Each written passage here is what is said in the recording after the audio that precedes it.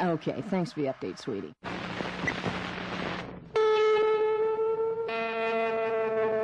PBS presents this program in color. Hold it. Hold it. I think you're going to like this picture. Ready? Go. I drove a thousand miles and my guy didn't play. Ozzie is PO'd again?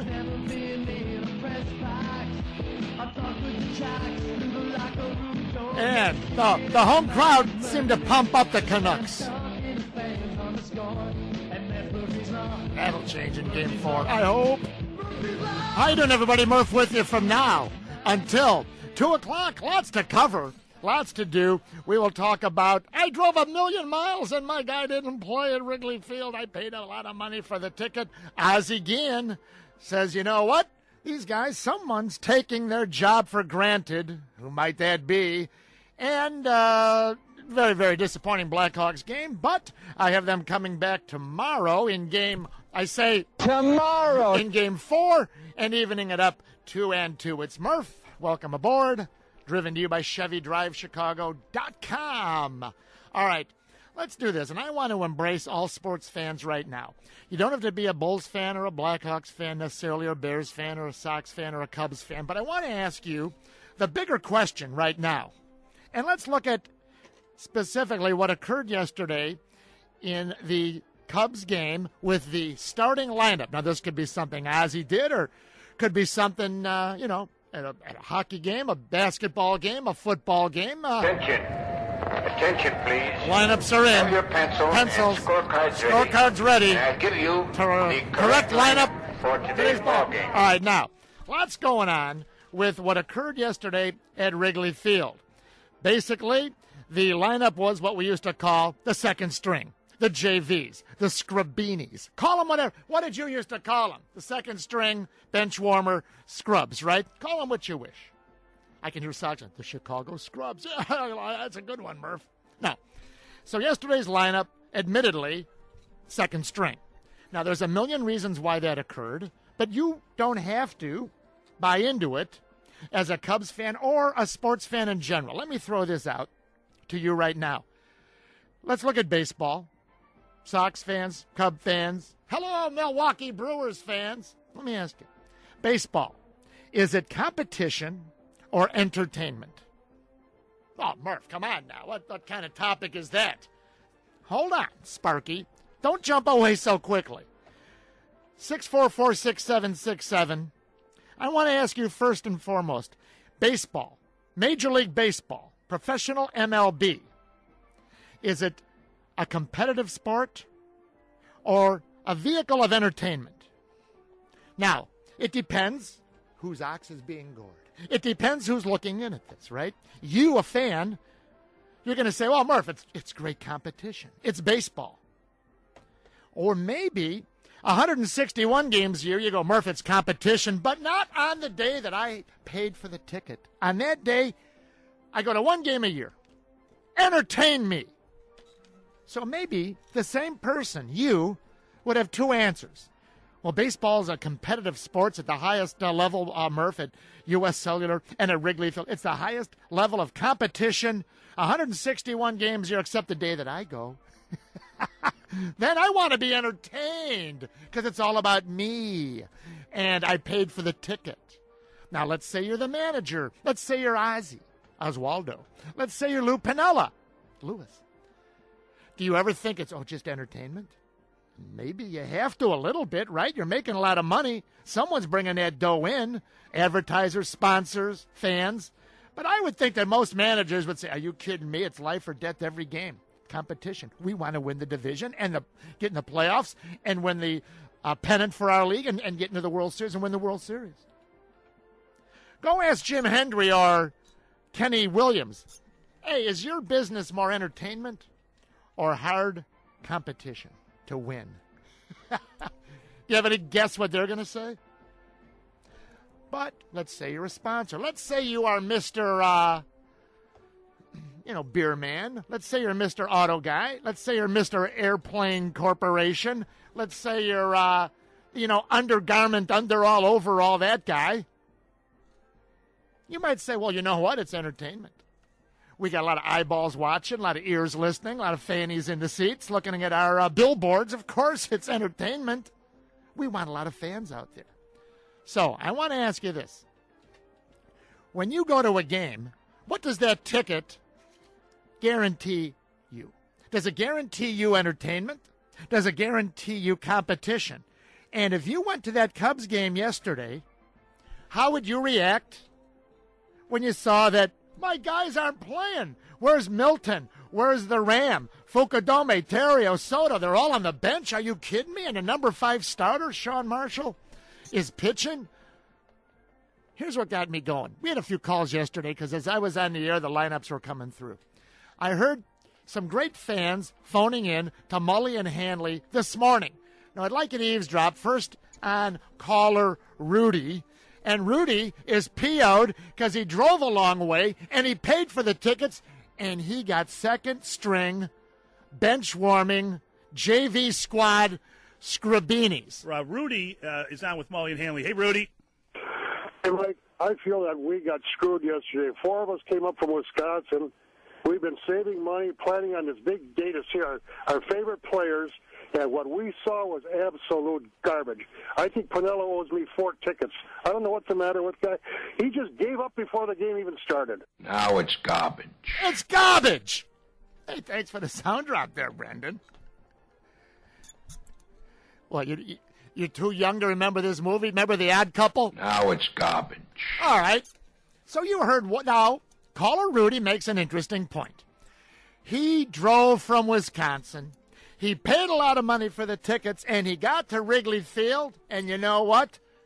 It wasn't what he expected.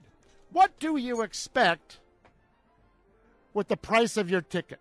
What does the price of your now? You ever been to a spring training game? You better know going in that you're going to see maybe three innings of half, four guys out there that you know their names. You better know that going in. That is standard operating procedure in spring training. But what Lou Piniella did yesterday confused many of you, and it upset many of you. Now, I could sit here and give you all the reasons Lou did what he did. You're not going to like him. Day game after a night game. Rest a few of the veterans. 15th game in a row in a 20 straight game run in the schedule, their longest of the season. 15th game in a row. Uh, getaway day. Oh, but Murph, they fly luxurious uh, flights. They have the bus pick them up. They stay at the finest hotels. Screw these guys. I paid money. I want to see the regular lineup out there. Mm-hmm. Theriot and Soriano, by the way, had not missed a game all year. It was a game against a non division opponent. They're heading on the road to Houston, and I know Houston can't play dead right now. And they're playing then three in Milwaukee. So, my bigger question to you, the, the sports expert, along with does the ticket ensure you that you will be entertained? See, it's all about you. God love our caller there, Rudy.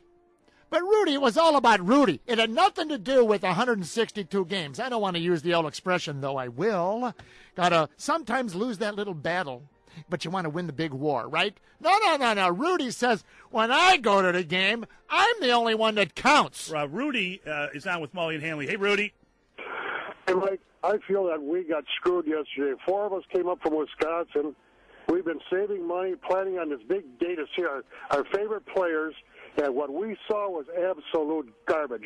I think Pinello owes me four tickets. I don't know what's the matter with that. He just gave up before the game even started. Pinello owes me four tickets. It was garbage. Now it's garbage. Now, let me ask you this.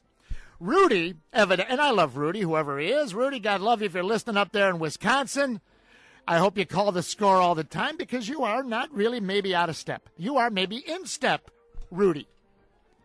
But Rudy sounds as if he would be happy if his favorite team, the Cubs, lost 161 games as long as they won the game that he went to because they saved their money all winter. They saved their money all winter to buy a ticket. Now, Walter, Wally, called up just a few minutes later on Mully and Hanley this morning, and Wally, I think he's upset also, right? Wally's in his, on his truck. Hey, Wally. Hey, how's it going? Good. Uh, I kind of want to repeat what the last gentleman said. I think there were about 40,000 people in that stadium expecting to see generally a regular Cubs lineup. Now, what did we get? Uh, we got a couple of new ball players, which I like that young kid at second base, um, and, and a bunch of guys that just You got you know, Joey Gathright, Aaron Miles. You got all the backups, is Yes, what you got. Right. yeah, a lot of backups. And D. And- Lee, and it D. Lee was the a only guy in there. It, it kind of gives a message to the team too. I mean, the, the team's on a roll. The team feels good about itself. The team's getting closer to first place. Oh, here's this roadblock that uh, King Lou throws up. You know, to look at it from the player's point of view. Sometimes, you know, they have to know that the person in charge of this asylum, you know, has uh, you know some common sense. And I knew when I seen that lineup that Lou was out the night before. Ah, he knew when he seen the lineup that Lou was out the night before, to be or not to be. That was Wally. Now, Wally's very upset. He expects to see the regulars. Do you expect to see the regulars when you buy a ticket? Number two, he says the team is on a roll. They had won four in a row. They lost yesterday. Marshall pitched his ass off. Couple, a bunt hit, a bleeder, and a blast, and you're down 3 0. And then he pitches step for step with Lincecum. But you lose. That's true. Now, let me ask you this the team is on a roll. As we take a break when we come back, I want to ask you this. Oh, by the way, Vuk!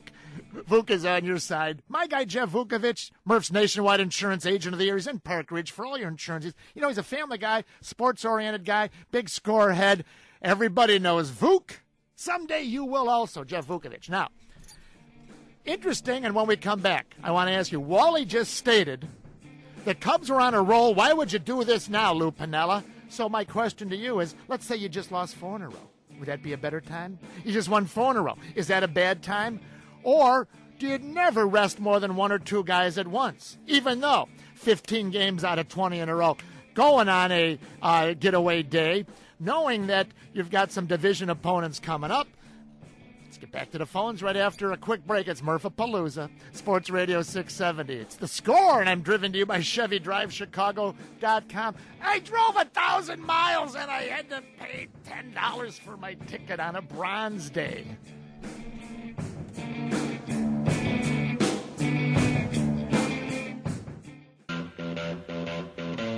I drove a million miles and I had to pay 11 bucks for the ticket.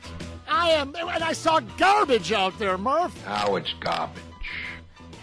Lou Piniella gives the regulars a day off.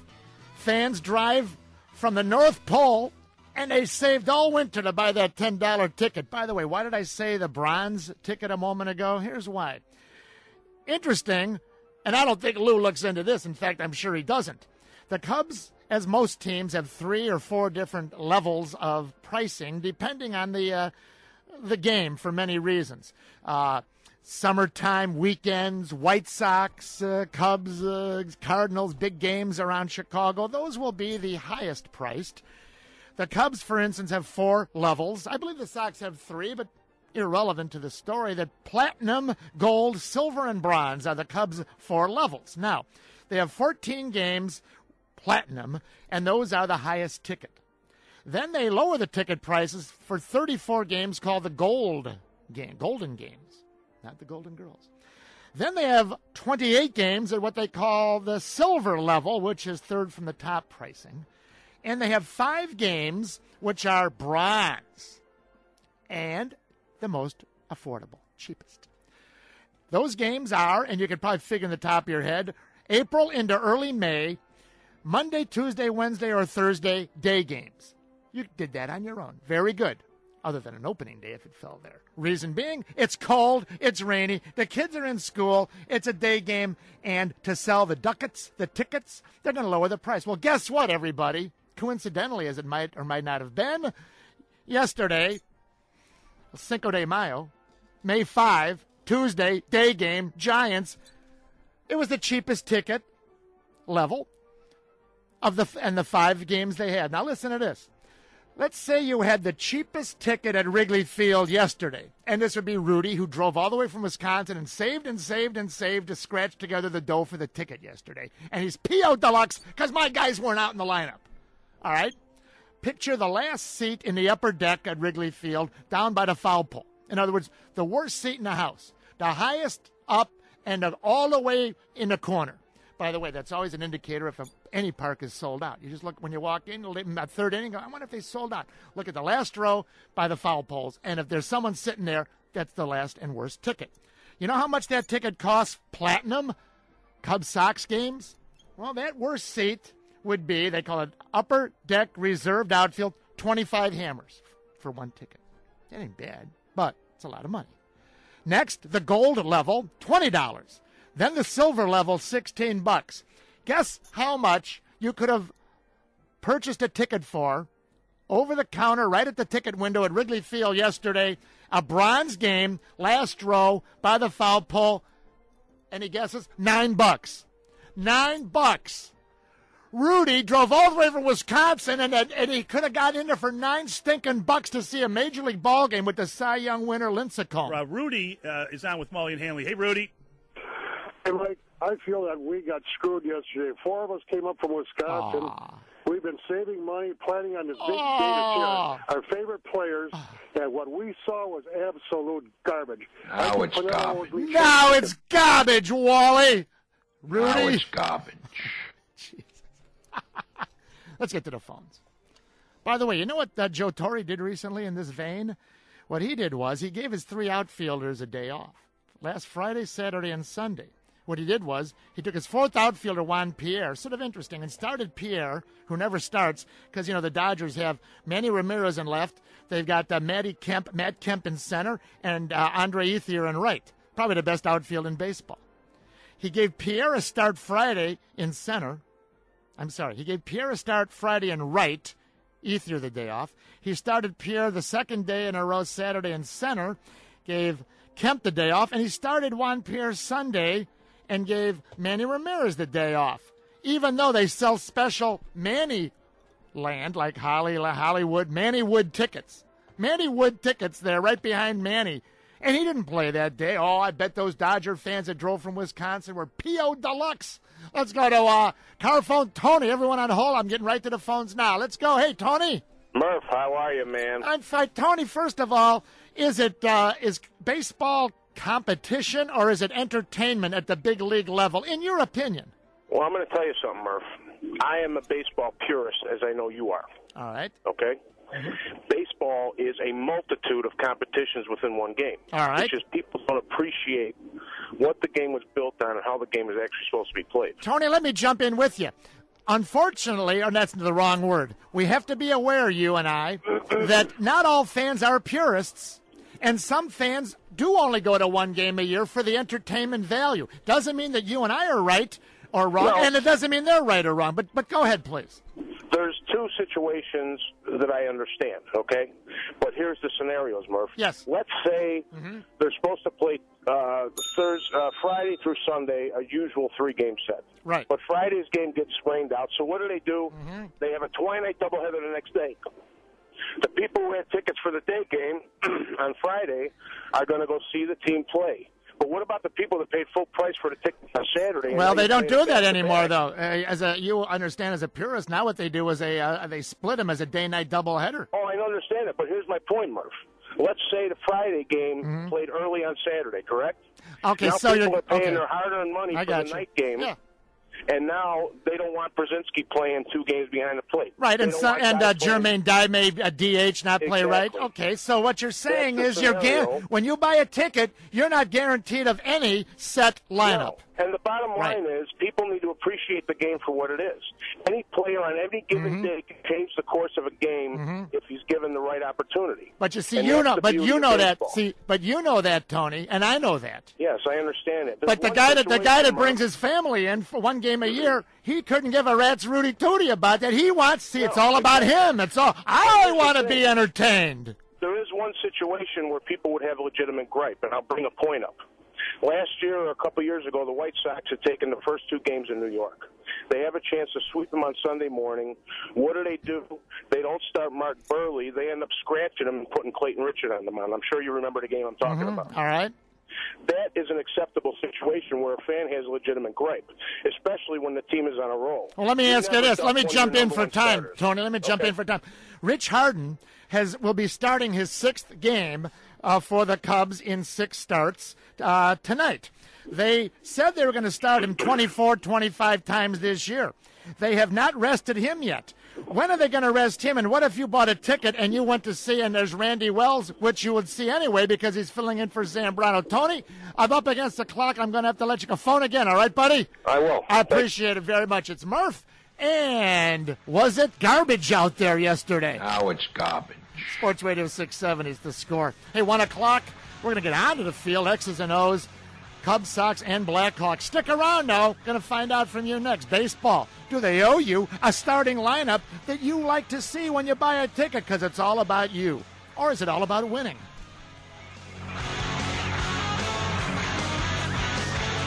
Hey, hey, real quick, Zach, before Yes, you run away I'm there, I, uh, we had a uh, caller from the Mully and Hanley show, Rudy, who drove you know a million miles and spent a ten thousand dollars, and he, was PO'd because there was a bunch of garbage out there yesterday. Oh, my giddy aunt. So I've been playing.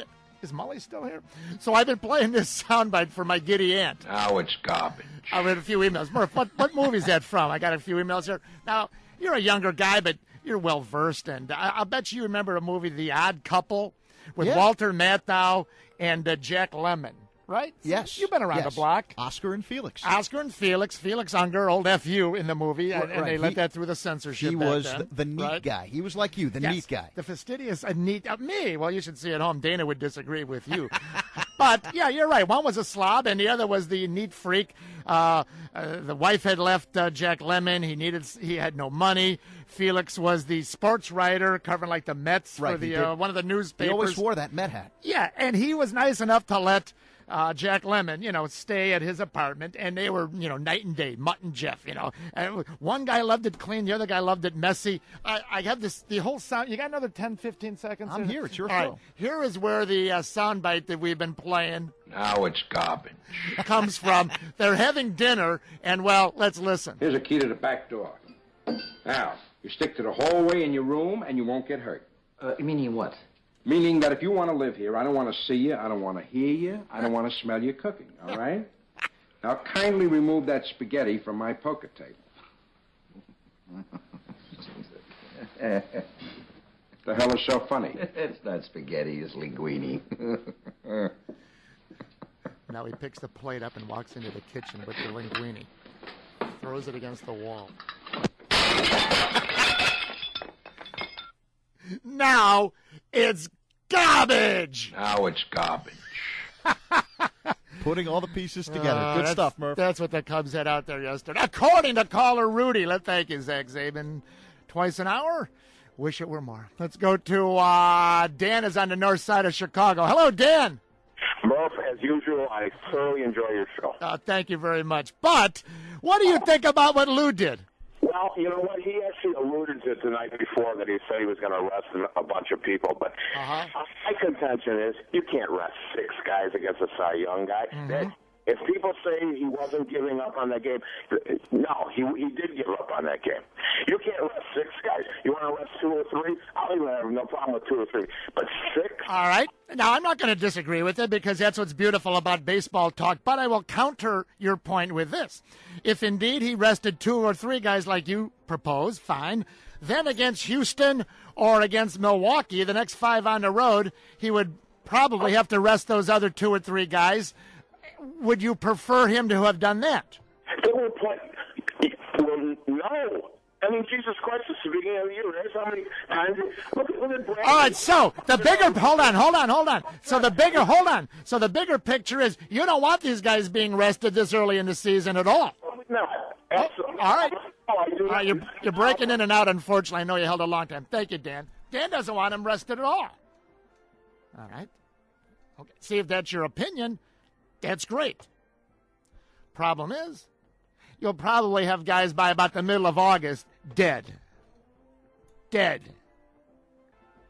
How about you go to one game a year? I tell you, there's someone out there, maybe a Jew.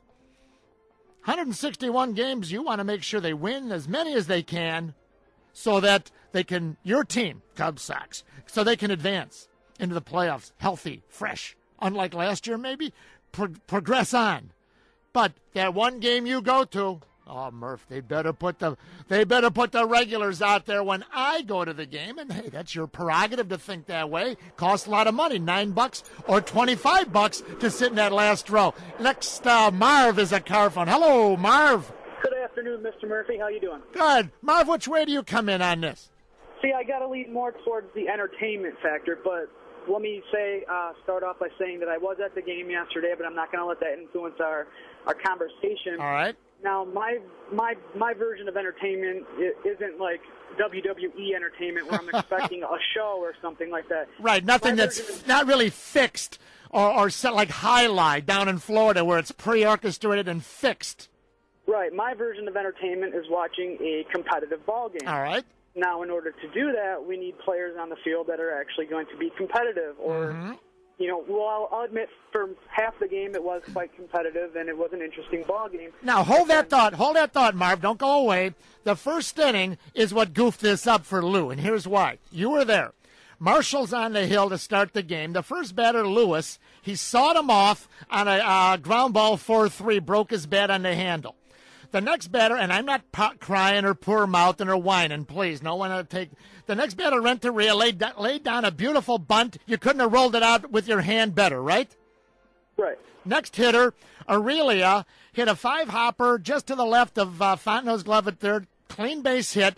But the first three hitters, no one laid the lumber to the ball. Next guy hits a clean three run homer, and now you're down by three. Marshall then goes step for step with Lincecum. Cubs get two. They're only trailing three to two going into the uh, Samardzija appearance. So Lou's whole idea wasn't all that half baked until Samardzija screwed the pooch. Right. He had plenty of lefties in there to counteract the right-handed pitcher. All right. But what I'm saying is, Yeah. like, in that sense, I expect to be entertained with competition, and I do want to see Mm-hmm. the players on the field that are going to be competitive and win the ball game for us. Did you realize when you bought the ticket, and I'm sure you could, you know, opt to go to a lot of games, did you intentionally go because it was the bronze, one of the five cheapest games, or it was just a good day on the calendar for you to go, I'll bet? No, it was uh, my birthday actually, All right. so I went on my birthday. Hey, Cinco de Mayo. Happy birthday. I was a few days uh, just before you. So, Marv, it wasn't the price of the ticket. It's just the overall uh, uh, philosophy in your mind. It, uh, you you want to see the good product uh, as good as possible, and you didn't think that was it yesterday.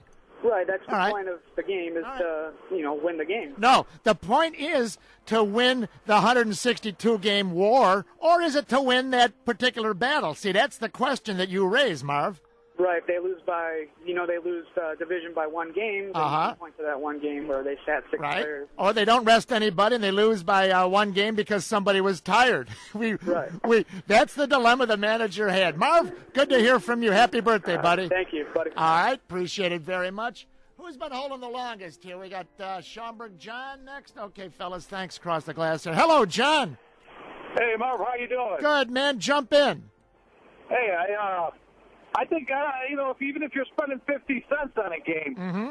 you should at least be able to see some of your marquee players. I Why? mean, uh, now, okay, good point. I'm not arguing with you, but why? well, I mean, that's what I mean. They build these stars up so you can uh, Uh-huh. you come and fill the seats so you can see these guys play. Well, no, no doubt. There's no doubt. It's kind of like when you go into the movies and you get there before the the first show, they Uh-huh. a discount ticket. You go in to see Star Wars and they're showing you more for more. How about this? I've never been in New York to a Broadway, never been in a locker room. I've never been to a Broadway play, but I guess occasionally you walk in, or maybe down here at Chicago Theater or Cadillac Theater, whatever, and there'll be a little note. The understudy is filling in tonight in the role of the star. Now, what do you do there? Or how about, you know what? Once Well- I, yeah. Well, I, I think you know. In that case, I hope uh, Club management is listening. I mean, they can get the uh, the ball girl to do a you know a, a foul pole dance or something. Hey, you know what? This foul pole sponsored by. I love it. Thank you very much. Thanks, sir. Just gave him an idea. This foul pole dance sponsored by. All right, everyone on hold, get right back to you. Sports Radio 670, it's Murphy. 1 o'clock, we will shift gears, but we'll have a few more calls on this topic. Baseball is a, com- is a competition, is it entertainment? When you buy a ticket, hey, man, I deserve to see the best because it's the day that I'm going. Sports Radio 670. Hey, the towngroup.com, my guys, you know, the white trucks, the red stripes, West Town, North Town, Southwest Town, Northwest Town, they do it right at the towngroup.com. The big chiller, piping, HVAC, mechanical jobs, repairs, replace, problem solving, yearless uh, service programs by the year, saves you money, the free estimates. You know, everybody does, does it right at thetowngroup.com. Big jobs.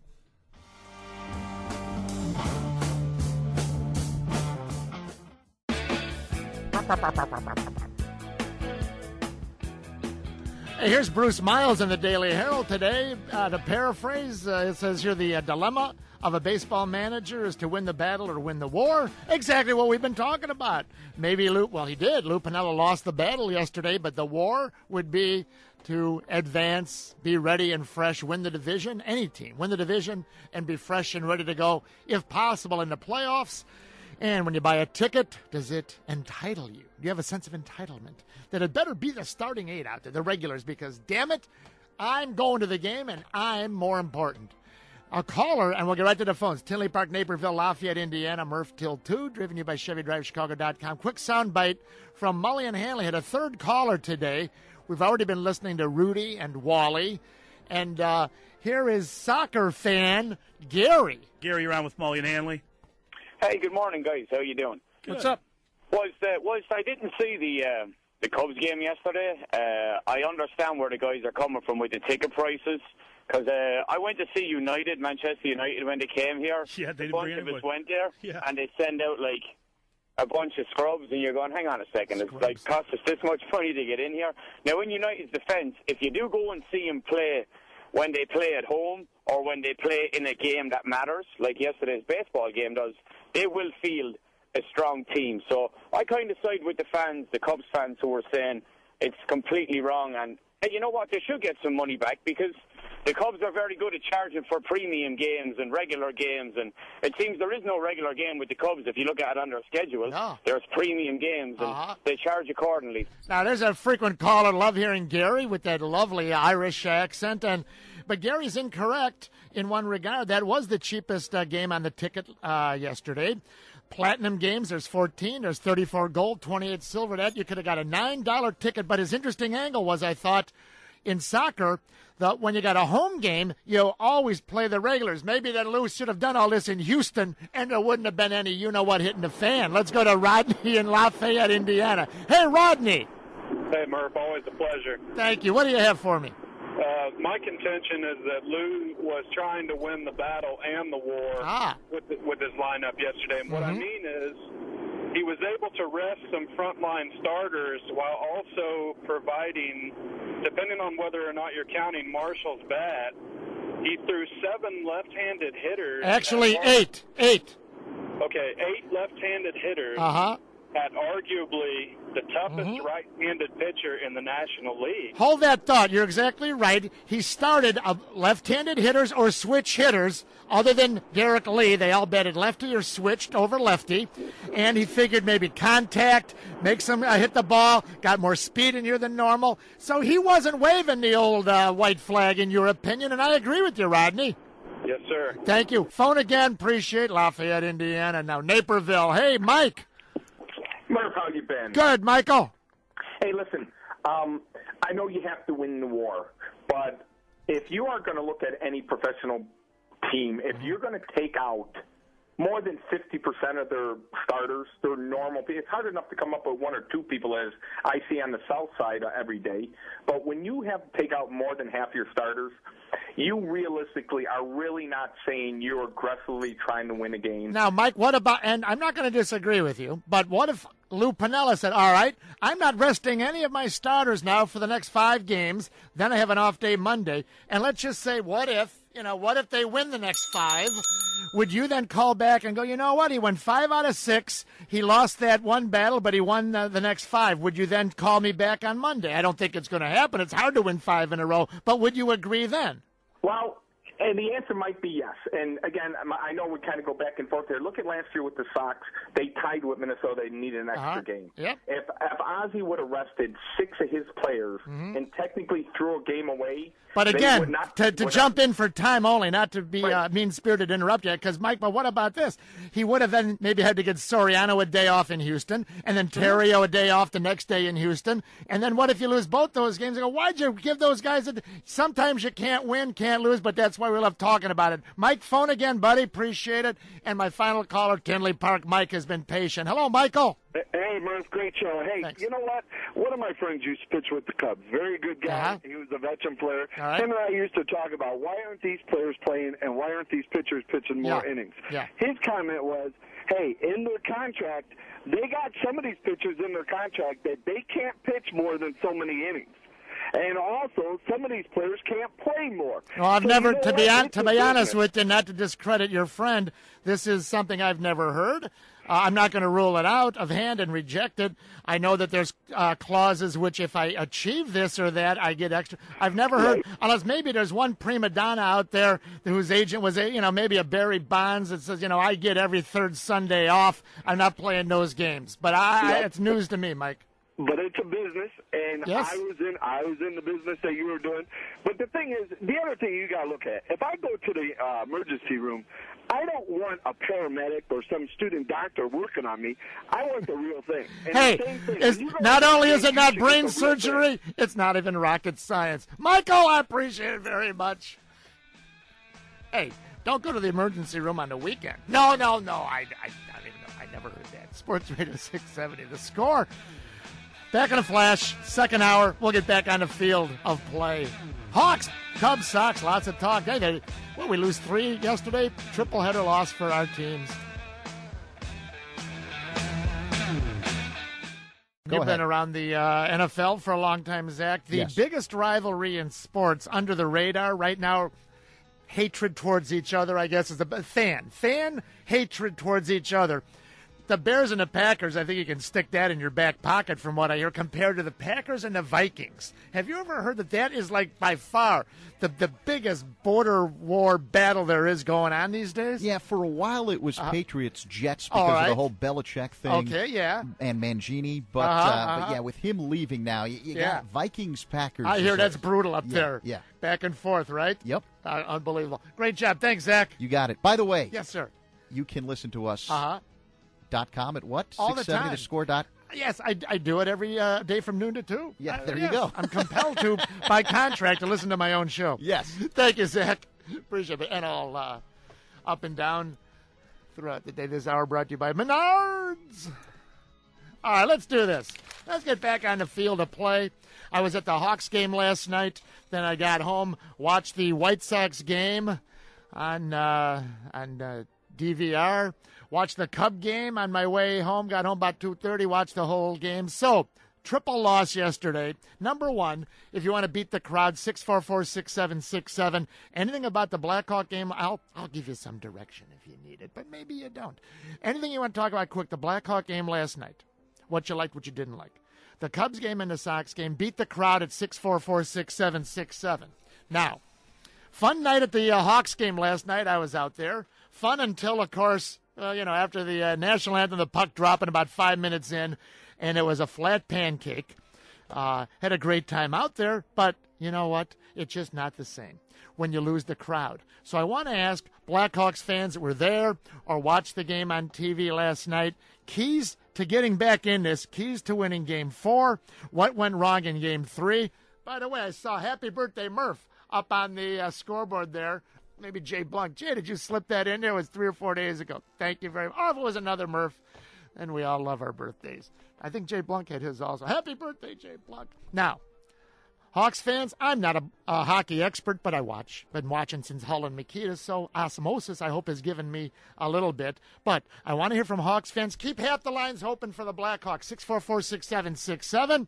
Coach Q last night didn't like the play of some of his stars, gave less ice time out there to Jonathan Toews. That was a key number two. You know, I'll use the word rhythm. There was no rhythm. Vancouver was cutting off the passing lanes. They were the Hawks were unable to, you know, have nice uh, cross ice, uh, up the ice, uh, two line, one line passes. How do you combat that? If you're a hockey guy, a hockey expert, what do the Hawks have to do differently on that? And two power plays for the Blackhawks, if I'm not mistaken, zero or maybe one shot on goal in the the two power plays uh, that I remember. Nothing. How do you get more? Is it is it that simple? To not get a couple shots on goal in a five on four for two stinking minutes?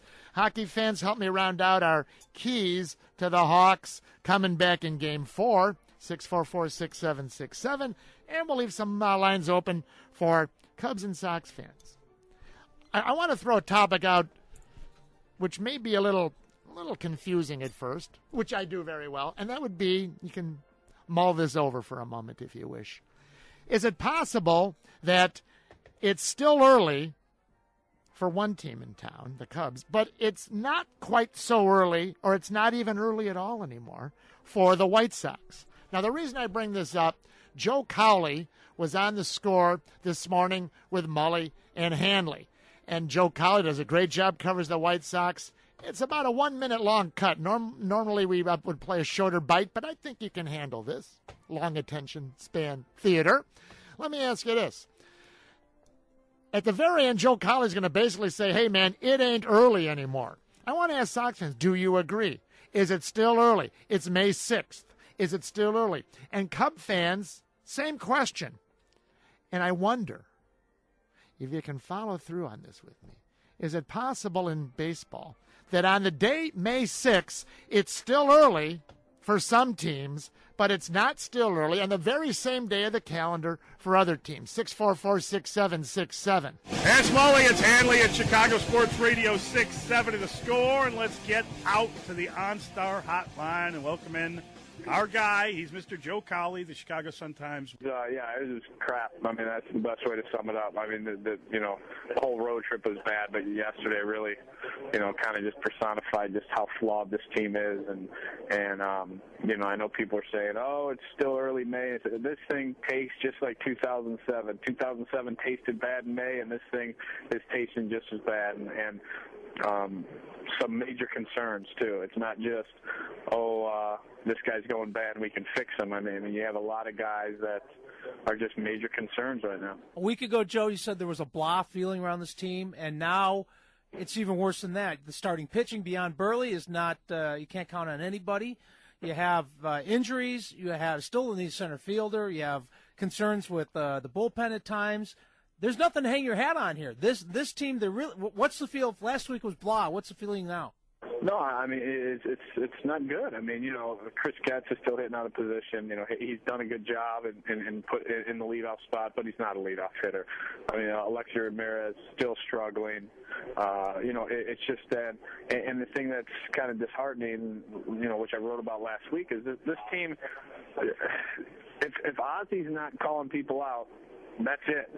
This team will just move along lifelessly unless the manager is saying something. The rest of the, it's just it's just a uh, you know you, you don't have that one guy that you can go to. You know that is at least biting down on, on nails and and, and, is, and at least portraying the the the idea that he's as upset as the manager. It's just kind of guys just you know, saying all the right things. It's it's a marathon. It's a, you know this thing's long. It's, well, no, this thing can get away from you quickly, and and and that's what the course they're on right now. Oh, now that's interesting. The marathon, the sprint, this thing can get away from you very quick. Now that was Joe Cowley on Mully and Hanley this morning on the score. Chicago Sun-Times beat reporter covers the White Sox. Hear what he said right there? Paraphrase it out if you wish. It's not early any longer. May 6th, it's not early. Now, I will I will step out here on, on thin ice at risk of you thinking that it's and it's not a Cubs Sox thing. So, you know, hold that back, okay? We can do better. You can do better than that. I believe right now that every team is constructed differently, any sport. And for some teams, here's my bigger question. And if you want to zero in, rifle shot in on Cubs or Sox, or if you want a shotgun uh, broader, I want to ask you this. Can some teams be constructed where, hey man, it's already late? That'd be the White Sox. And you could be constructed like the Cubs, and it would still be early. Or is that is that incorrect? Is that impossible? Murph, it's May 6th. Everybody's on the same pace. 644 6767. And I need Blackhawks keys to winning Game Four on Thursday. Glenview Jim is on the score. Hello, Jim. Hey, Murph, how you doing? Good, Jimmy. You want to talk a little hockey, right? Sure. Um, well, you know, just about last night and going forward, um, I hate to say it, but if Patrick Kane doesn't become responsible defensively, they have no chance because he is a liability every single time he's on the ice. Now, let me ask you this: Has that been the case all year? A- absolutely, but all Then how did they get to this? See, and I'm not going to dis, uh, argue with you because you, you know I'm not a hockey expert. But Jim, I would wonder, can you make a change like that? And I've often said Lou Piniella should have made changes in the playoffs, so I'm not going to you know go against myself. But what would uh, Coach Q do to try to change this after things have worked so well, or is it just the matchup with Vancouver that uh, spotlights Patrick Kane in your eyes? First of all, I also want to say he's he's a young kid. So Uh-huh. you know that that that that being said, Quenneville actually has to take part of the blame yesterday. Mm-hmm. It, it, it, with one minute to play in the first period, they're down a goal. He sticks Kane on the ice because there's a face-off in the Canucks zone, and Kane's been notorious for hooking guys.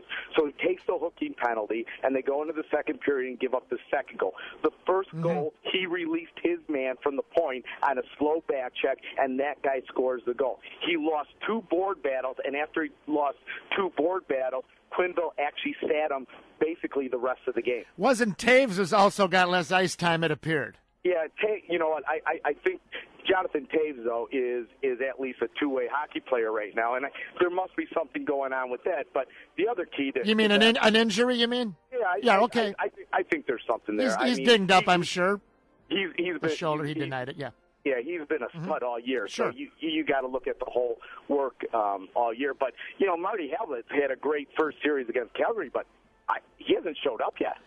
Well, you know, the one thing, and I was at the game, but I, I watch with, you know, rookie eyes, even though I've been watching since the 60s. But I thought Havlet, though he, you know, didn't, he still is an amazing guy where he's able to put the puck on someone else's stick when it looks like a blind behind his leg, but he threw his leg behind his back pass. I mean, his Havlat is still a magician out there, but there was nothing for him last night, or did he just have a flat game, you thought? Well, I, I just don't think he usually beats somebody off of, off of his first or second step, and Mm-hmm. Yeah. he hasn't been able to do that in that in this series. What did Tur- what did Vancouver do? You know, okay, let's look at the other side of the coin. All your points are excellent keys, Glenview Jim.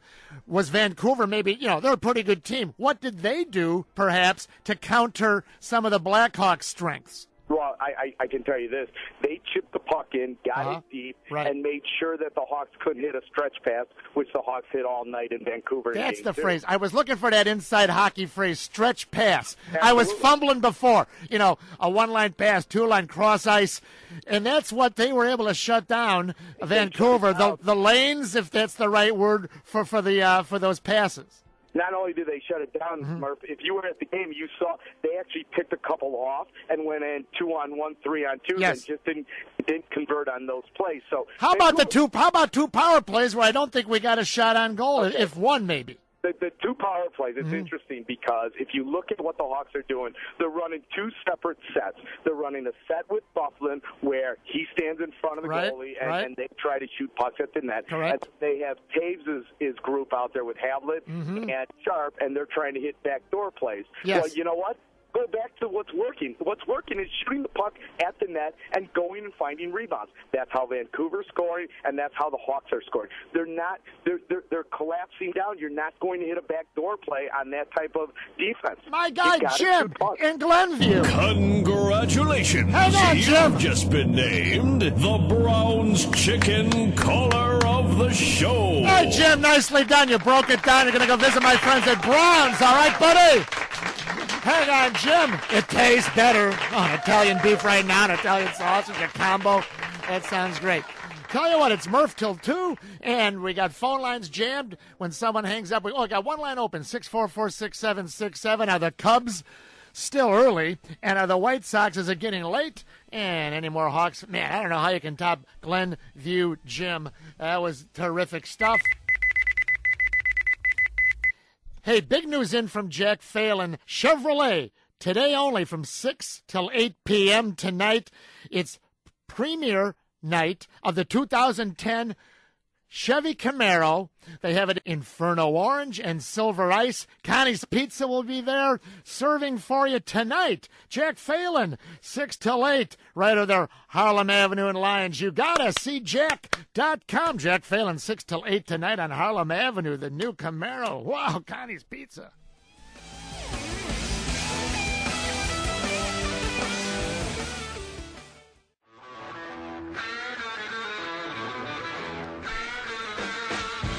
Uh, rough game for the White Sox last night, the Cubs during the day yesterday, and the Blackhawks. We lose three, and that doesn't mean they can't uh, all go on nice little, nice winning streaks. It'd be super nice for. Just think if the Blackhawks went on a nice winning streak.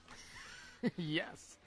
Six four four six seven six seven. It's Murph. We'll get right back to the phones asking Blackhawks fans to fill in a few more of the keys to win game four on Thursday. Sox fans, Cubs fans, is it possible that one team, it's already getting late, but for the other team, you know, it's still early? Ozzie Guillen, you know, he said after the game, some of these guys have to start uh, not thinking that a job is being handed to them, right, Ozzie? I've seen some people in this team better check that. Mhm. Uh, some people they think that for sure they're going to be right. the stars and they're going to be the, the, the, the they, they better check that. They better start thinking about the way we play. I'm not talking about everyone. I'm talking about uh, players out there. You know, they just they want to take it for granted. Like they yeah, well, Ah. they better be careful. Now, Ozzie says some guys out there taking their job for granted. Who would that be, Sox fans? Well, you got to figure number one, he's talking about after a bad outing up on the uh, bump. Figure, you know, he's probably talking about Gavin Floyd. But what are you going to do there? That job is granted to him. What are you going to do? Send him down? Send him out? Put him in the bullpen? You're already worried about Contreras. And though Colon has been fine, you always have to worry when the weather heats up if this guy's going to not start giving up some long balls. Maybe not. He's been terrific. He's got that two seamer just running back, keeping it nice and low right there. Inside. He's on the hands on the right. I mean, he's looking great, Colon, right now. But what the hell? Gavin Floyd, let's be honest. He, the job has been given to him. The job has been granted to him. He's got to be talking about X-Ram, right? Alexei Ramirez? That's the guy he's got to be talking about. Trying to light a fire right there. Who else could it be? Now, Nate Silver is going to join us tomorrow from baseballprospectus.com. He was the guy that got the Sox management all upset. And a lot of Sox fans, I remember Mully was fit to be tied when Baseball Prospectus Nate Silver predicted the White Sox to finish fifth. Now, some of the problems that the Sox had then, February, are really unchanged now. No center fielder. Injuries didn't help, but no second baseman, though, you know, it looks like Getz and Nix can do it defensively. Don't know what they can hit for you. And no leadoff hitter. The problem is that your leadoff hitter was going to come from center field or second base, and right now you have a lot of mix and match right there. Get back to the. Oh, by the way, I got an email here. Kenny Owens from LaGrange Park. Murph, did you hear the caller to the Ranger the other day? Now, I didn't say if it was post game or Sox pregame or what, but he said the Ranger got a call that said maybe Murph was right back in March when he suggested the best leadoff hitter. Oh, no, I'm not going to read this. Kenny will get pissed. Oz will get pissed. The best leadoff hitter on the White Sox is Carlos Quentin. And that was only by default. I said, you know what? The way this club is constructed, you heard me. I'm not going to repeat the whole thing. But you have thumpers in the three, four, five hole as it is. You know, if you're going to have Paulie Kane, you're going to have uh, Jim Thome, you're going to have Jermaine Dye thumping three, four, five. You have no on base guy, no leadoff hitter. If Soriano can bat number one, certainly the White Sox should consider, and I'll say it again. Carlos Quentin is your leadoff hitter. They won't do it now, though, because, you know, oh, man, don't want to do what that guy on the radio said. Let's bring up uh, Al from LaSalle. Hey, sort of rhymes. Hello, LaSalle Al. Hi, Murph. Yes, hello. Hey, uh, I'd like to go with the premise that coming out of spring training, Mm-hmm. the Cardinals were, or the Cubs were 10 games better than the Cardinals, according to Vegas. So, over and under. Well, don't go according to Vegas because more Chicagoans vacation in Vegas than St. Louisans, and they drive the uh, the odds. Uh, but anyhow, go ahead. Okay, so say 13. Whatever. Okay. Uh, the Cardinals are three games in front. That brings it back down to 10.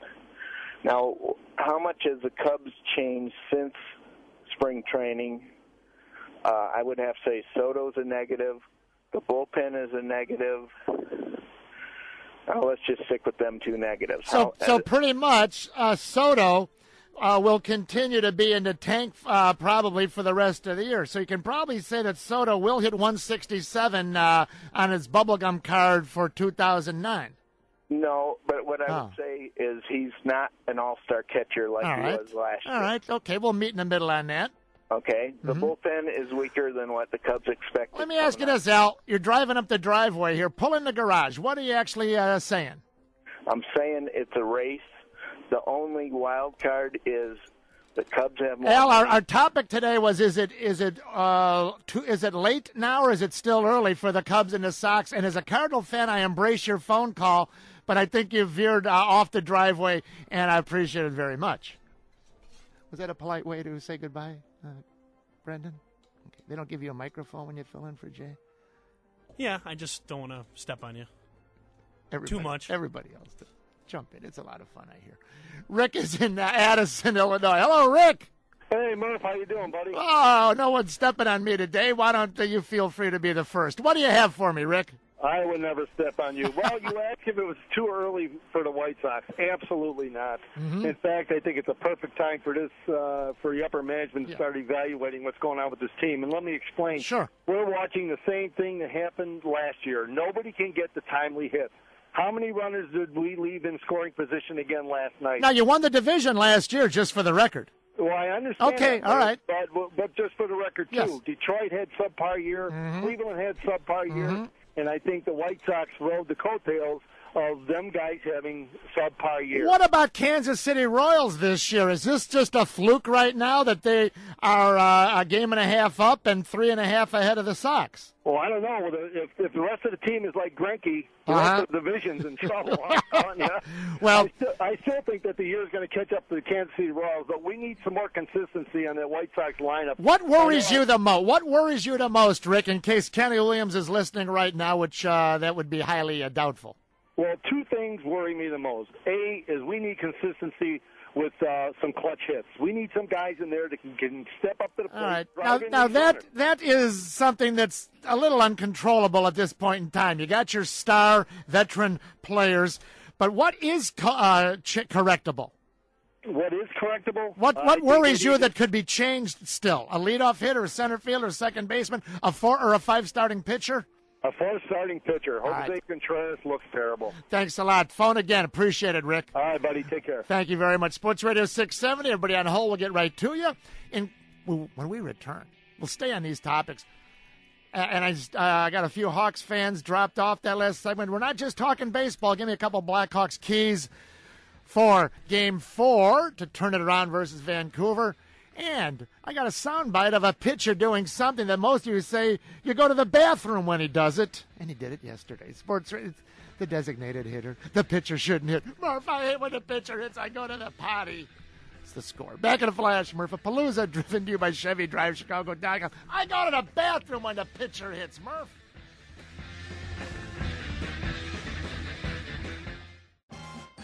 Oh, thank you very much. Welcome back. Murph on a home stretch. Oh, the Gillette music. Let's crank. I love that song. Hey, Brandon, you know this song is playing?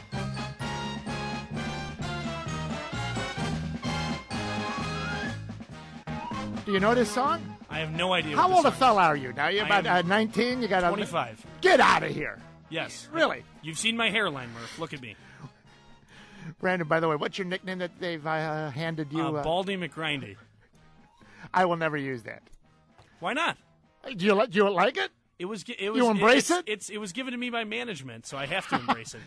The song that was just playing is uh, called the uh, Gillette theme song. You've heard of Gillette razor, right? The Gillette. You are old Absolutely. enough to shave. Barely, Yeah, but you, yes. you got a little peach fuzz going there. Can you bring that up again, or is it gone? That song. We're yeah. We're Yeah. Okay. Yeah. Yeah. This was the song that was played like all my life when I was a young boy and into my t- and when the boxing boxing would come on the Friday night fights on the old black and white TV. Brought to you, crank it up, come on. Brought to you by Gillette. This is the Gillette song. To look sharp and feel sharp with the Gillette Blue Blade. Ah, you youngsters. Thank you very much. What was that? Baldy McPherson? What was that? McGrindy. McGrindy. Let's go to, uh, okay, enough of the Gillette, lose it. Let's go to uh, Batavia. Nicholas is next. Hello, Nicholas. Hey, Murph, thanks for taking my call. Hey, Nicholas, thanks for jumping in. We got a lot. Hey, do you go to the bathroom when the National League pitcher comes up to hit? Uh, maybe you're at the ball game or you're at the home watching on TV. Do you go to the John and say, "It's the damn pitcher. I don't want to watch"? Do you do that? No way, because Zambrano may be up. Oh, he might pull a he might pull a hammy. Or you might hit one out of the park. you might hit one out. But what about uh, you know Sean Marshall or something? You, you know, you, that's boring. You hate that pitcher batting. You're a young guy. You love the DH, right? You know, you know, I just moved here from Baltimore, and so I am kind of an American League guy. Uh-huh. Uh, so I like the DH. But I got to say, having Yeah. moved here from Baltimore, it's Yeah. great just to have something to talk about. Uh, Cubs and Sox. Well, you moved you moved out of Baltimore. You moved out of Baltimore just in time because you got stuck with one of the worst executives for Oh, fans oh, in the history of baseball. Have you ever heard of a guy named Andy MacPhail? No. Well, he's running your Baltimore Orioles now. F A I L. He's a clown. I just know Angelos uh, just as big a clown, so maybe Yeah. it takes two of them. Well, Angelos. Well, that you know what? They are birds of a feather, and it's good for them to have flocked together. Nicholas Yeah. from Batavia. What do you got for me? Hey, well, uh, let's talk about whether or not it can still be early for some teams and not early for others. I think to discern that, you need to look at the larger context. Uh-huh. Uh, when it comes to the Cubs, yeah, uh, they look good. But if the Cardinals keep playing the way they are, uh, it's not going to be early much longer for the Cubs. They're going to find themselves pretty far behind. Now- but when it comes to the Yes. AL Central, Yes. I don't see any team running away with that. So the interesting thing is, you are like a, the counterpoint. My initial thought would Yeah, have been different than yours. with Joe Cowley, uh, who was on. We replayed a few minutes ago. Sun-Times Sox beat reporter and uh, does a lot of great work here at the Score. He said, "You know what? It's really it's getting late." He said, "You know what? It's late right now for the Sox." And my thinking was, well, they've got you know their veteran guys, you know, in in their late mid late thirties, uh, you know, Dye, Thome, Konerko, the and they got a lot of and the young young guys, you know, from Alexei Ramirez and Josh Fields. Maybe I'm thinking, you know, it's tougher for that to turn itself around. In other words, maybe the aging veteran, you know, hey, not- it just ends quick. You never know when. Uh, and and the young guy, you don't have a track record. Whereas the Cubs. And uh, this is not a Cubs Sox thing; it's just factual. Many of their players are more in the prime of their career ages, not real young and not the sort of uh, aging veteran. It would seem that that would be the team that has longer down to the finish line and they'll maybe end up where they usually do on the back of their old baseball card. But you've turned it around based on and very knowledgeable on your, but based on the competition, right? Context. That's right. That's right. The Cardinals look uh, very, very good, and if Carpenter mm-hmm. comes back, look out. And- uh, the Sox need to get their pitching back like they did last year. I think. Well, you know what? Uh, they have a, uh, pro- you know, a lot of teams have holes in the four and five starter uh, rotation. Don't get me wrong. The Kansas City Royals uh, were not factored in by many experts to be first place. Many said that they were ready to make a move out of 5th place. Hey, great to have you here from Baltimore, and I'm glad you got Yeah. away from Andy the Clown. Yeah. MacPhail. F A I L. All right. So you go to the bathroom when the pitcher comes up, right? Mm-hmm. All right. Cubs game yesterday. Cubs are trailing. Let me do this off the top of my head. Three to one, fifth inning. Cy Young pitcher Lincecum on the mound. Cubs have runners, I believe. Let me the first and second, two out, trailing three to one, bottom of the fifth, and here comes Sean Marshall. Murph, I love the DH. I hate the National League. When the pitcher comes up to bat, I go to the bathroom. And Marshall shoots that ball out into center. And Scales is going to score. Throw goes to third. Save. It's three to two. And a boy, Sean. Got a changeup up and out over the plate. That's the same pitch he swung through to strike out back in the third inning. This time gets just enough of it to dunk it in front of Aaron Rowand in center field. Two outs. Bobby Scales is going to score easily. Good aggressive base running by Koyie Hill to go first to third. There you go. The pitcher gets a hit. You know, it's, it's pretty well stroked also. I heard Bob, what did he say? They're like a dunker. Well, it was technically, I guess, a dunker, but you know what? It wasn't like a blooper or a Texas leaguer. He took a nice cut, lined it right out to the same pitch he had struck out on the first time. Lincecum tried to sneak it by him. Watching the Dodger game late the other night, and that game, I believe, was tied around the fifth inning. Eric Stults, their fifth rotation starter, He's filled in for uh, who's due back soon. Uh, they also substituted out McDonald out of their rotation, I noticed. But Stults got a man on third, one out. It's like a tie ball game. And he hits a uh, fly ball to left field. Sacrifice fly. Runner comes in, and he gets in the dugout, and his teammates high fiving him. It was exciting. Yeah, not like, you know, winning the World Series exciting. Not like, you know, a grand slam by Manny Ramirez exciting. But you know what? The fans were digging it. See, it's the unexpected. Sometimes in sports, maybe the unexpected's fun. Sure, the pitcher's probably going to make an out nine out of ten times. But even the worst pitcher probably bats about 100, right? 100, 140, something like that. You know, there's an old rule of thumb. Take the take a pitcher's batting average, add 100 to it, and you sort of get a feel for how he does as a hitter. In other words, if a pitcher's hitting 120, how would 220 be for a regular position? But not so hot. But if a pitcher's hitting like 180, that'd be like 280. That's okay. If a pitcher hits 200, you know what that is? That's 300. And look at like Zambrano. Pull up later. What, what did Zambrano end up with last year there, Brendan? Pull it up. I think he hit 300 last year. That'd be 400. Oh, my God. Chad from Effingham. Hello, Chad. Hey, Murph, how you doing? Uh, hey, you got a little uh, Jack Brickhouse. You don't remember Brickhouse, but hey, what do you got from Effingham? Hey, it's there's no way it's uh, it's too late for the Cubs. Uh, Mhm. the last thing I want to see is them playing their best baseball in April and May. Just I don't want to see that Mhm. again.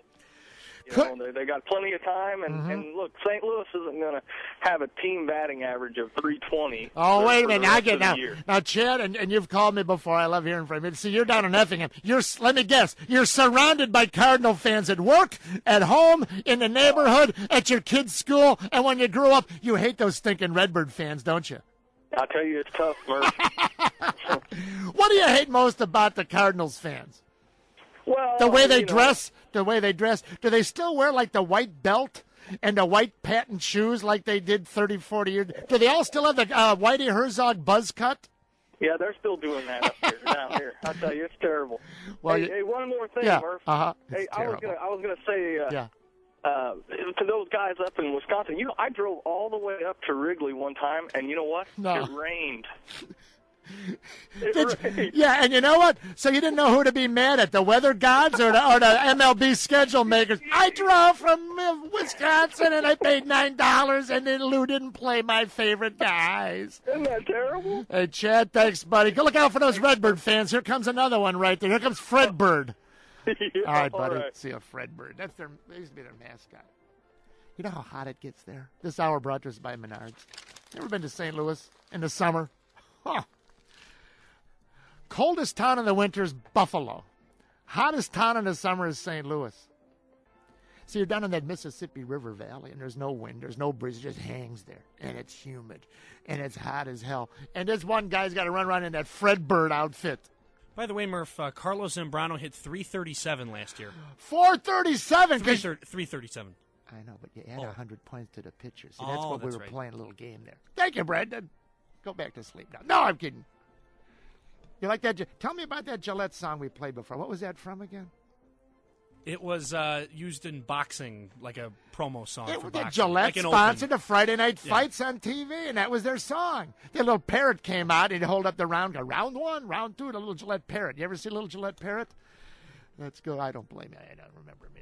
Berwyn Mike is on the score. Hello, Mike. Hi, Murph. Uh, good afternoon to you. It- You remember the Gillette parrot? I do actually. I Thank am old God. enough to. Well, I wasn't old enough to shave when that commercial was around, but I do remember Thank it. God you uh, verified that. My guy Brendan here's looking at me like I'm more nuts than I normally am. The Gillette parrot, Murph's Murph's lost it. Indeed, Murph. Uh, indeed, I love it. Told to get right to the point. It's not okay. too. Uh, It's it is no longer too early for the Sox, and Yeah. it's beyond early. Mhm. Uh, I guess I have to use it's too late. I kind of don't want to say, but I'll, I'll go with that since I have to choose. All right, uh, and you are declare you are a Sox fan. I just am. just I so am. the listeners know you're not a, you know a Cub fan trying to. Okay, so a Sox fan is saying that you know what, Murph, this is Berwyn. Mike is saying you know what, maybe it is getting a little late. Indeed, it is because, especially if you have to make decisions by the All Star break, where allegedly we take on salary if we were quote in it, then the season's really half of what it is, and so therefore, you know, mm-hmm. maybe even in April it can not be early anymore. and and Yeah. it just hurts too much when you have hitters that take half a season off, like last year. What happened a lot of the time. Let's go back to the winter, the big picture. The White Sox, and it's not my money, it's Mr. Reinsdorf's money. He can do whatever he wants with it. But if a fan buys a ticket, or a fan watches the games on TV, you're investing in the advertising that go, or if you listen to the Sox on the score here, which we hope you do, you know, you're still paying money or time, which translates into money. Were you surprised, uh, Sox fan Mike and Berwyn, that this was the year that they decided, Mr. Reinsdorf, to pull back the payroll 10 million, which was the second biggest of the 30 teams. I would have thought, and I said in the winter, so I'm not second guessing, Mike, this would have been the exact year with the aging veterans who you may not have much longer, uh, Dye and, and uh, Konerko and Thome. This would have been the year I would have fattened up for one year to try to win it all. I agree, Murph. All right. I agree. Hey, Michael, good to hear from you in uh, Berwyn. Over on 22nd Street there, the patron saint is St. Paul Federal. Thank you, Michael. Appreciate it. Andy's on the south side of Chicago. Hello, Andy. How you doing, Murph? All right, Andy, you might be my last caller of the day, Oh, so you thank just God, you- the phone, cell phone died. I finally got a landline. go ahead, take your time. Years of diehard Blackhawk Yeah. bleeding. Yes. And watching the game yesterday, being there. They broke up the defense in the first period, and that's what continuity fell apart. Tell me what who, who, what what they break up? Duncan Keith Mhm. and Seabrook. Yes. When you start breaking up guys like that that know each other where they're at and pass the puck, then you start going down. You know, they didn't start either, if I'm not mistaken. I was there when they put the That's true. starting lineups up. It was a, a Barker and somebody uh, yeah. Barker and Walker, is Walker, it? right? But it just Yeah. it just fell right down, Mhm. and then it just seems like Q doesn't let them fly. Right. These guys have pure speed. They're the youngest, what second youngest team in the league. They were youngest, and then they were second. I think they ended up first again at the end after and roster they changes. got pure speed. If Yeah. these guys will crash and go, and same thing on the power play, they should have won the game hands down. So the good no news, Andy- the point and crashing the net. So the good news is, I let you go. You could, might agree that th- there is still hope for Game Yeah. Four. I'm going three straight. And Oh, they're I love it. Li- Listen to this. They're Yes. going to play Anaheim. Good. And they're going to play Pittsburgh. Blank the Ducks. In the Cup. Oh, the Pens. How do you like that? Hey, what I like is That's an upset, and I got my relatives. They're all looking at me like crazy, but I've called three games. I love it. Bring the cup on, Andy and the south side. Hey, keep I in still touch. have faith in them, and they're all the way. Thank you, buddy. Thanks, Keep in Murph. touch. Keep in touch. Appreciate it. Sports Radio 67. It's Murph driven to you by Chevy DriveChicago.com. Don't worry about Milton Bradley. Maybe.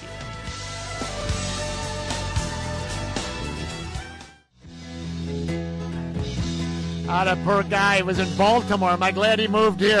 I'd like to be an Orioles fan. Andy the Clown. Holding back the dough, keep the payroll down. Murph saying, thanks for listening, thanks for calling. See you later, everybody.